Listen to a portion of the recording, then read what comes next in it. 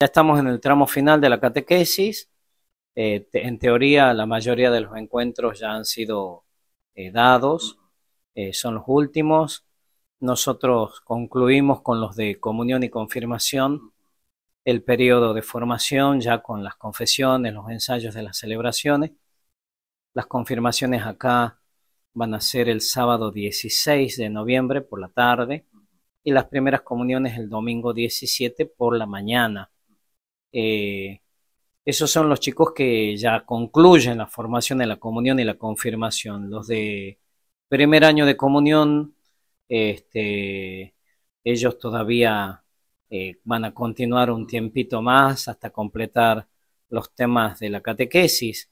Así que yo creo que vale que, que no estemos pensando tal vez tanto en el tiempo, de, sino que pensemos en, en, la formación que uno va recibiendo y que pueda ir avanzando. ¿no? ¿Se va a realizar algún tipo de cambio para el año que viene en cuanto a la catequesis?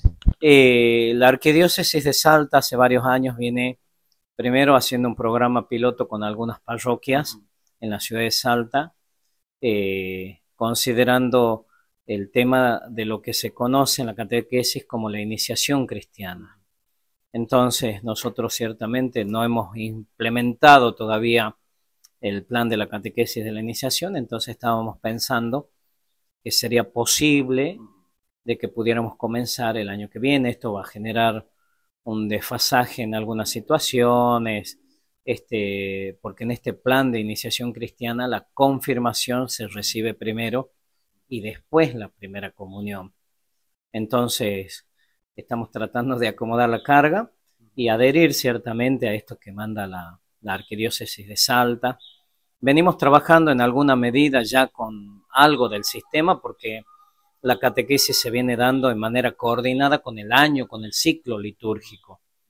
Entonces, cada vez que está por llegar un, por ejemplo, la Pascua, nosotros ya el fin de semana anterior ya hemos dado todo, toda la Semana Santa y la Pascua, entonces los chicos que participan de las celebraciones mínimamente tienen una idea de lo que se está celebrando en la liturgia.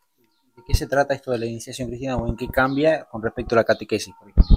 Eh, la confirmación se daría al comienzo, eh, o sea que pequeñitos sin haber hecho todavía la comunión van a recibir la fuerza del Espíritu Santo que complementa, que completa la formación que la fe que se ha recibido en el bautismo y, después con un poquito más de conciencia poder acercarse a la Eucaristía.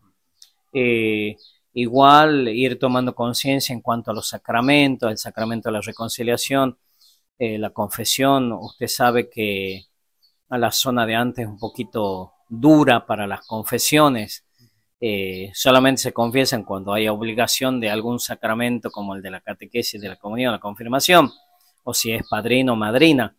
Entonces, ir formando a nuestros pequeños en ese hábito de la confesión frecuente para poder recibir a Jesús, ¿no?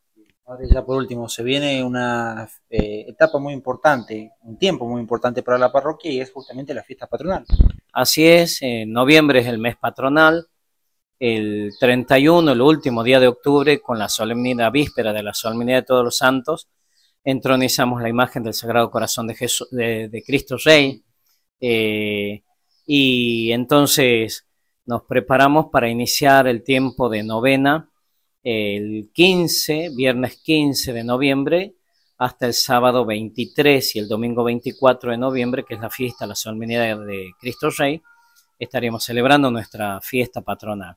Igual en el mes, al comienzo del mes de noviembre, como venimos haciendo hace varios años, celebramos la misa en distintos barrios para estimular a la gente a la participación en la novena, en la fiesta patronal. Además, nos alegramos de que la fiesta se va a realizar acá en el, al frente de la iglesia, han adoquinado la calle, que es muy bonito. Eh, entonces, el desfile, todo vamos a unificar nuevamente. Años anteriores se estaban haciendo los desfiles por la mañana eh, y la celebración, la misa y la procesión por la tarde. Ahora vamos a hacer todo eh, de manera conjunta con el municipio. ¿no? ¿El día central entonces se va a celebrar por la tarde? El día central sí, todo por la tarde. No va a haber actividades a la mañana.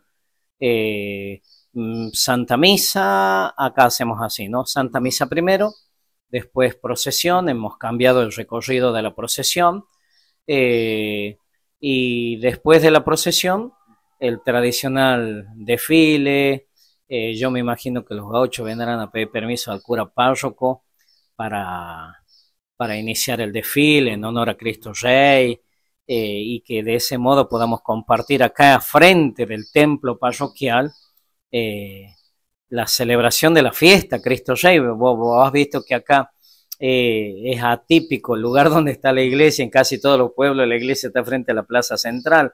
Acá estamos un poquito retirados de la plaza central, pero eh, entonces yo creo que va a ser muy bonito que recuperemos todo.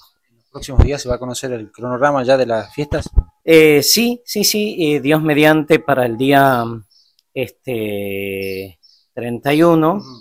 Eh, que el día de la entronización ya estarán repartiendo los, programas, igual hoy, esta tarde, eh, mañana ya estaremos este, en los estados también, eh, a través de las redes sociales, el Facebook de la parroquia, con el, colgando el programa, para que la gente conozca las actividades, los horarios, y todo aquello que nos va ayudando a, hacer mejor las cosas y anticipadamente. ¿no?